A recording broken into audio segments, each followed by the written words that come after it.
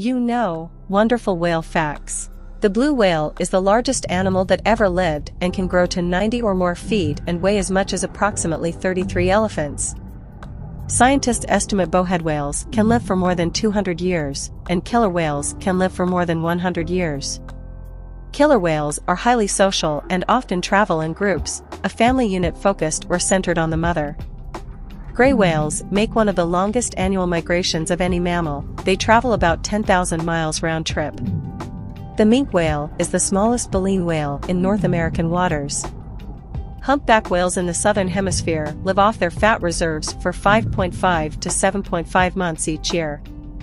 It's estimated that there were over 225,000 Antarctic blue whales before their exploitation in the 1900s.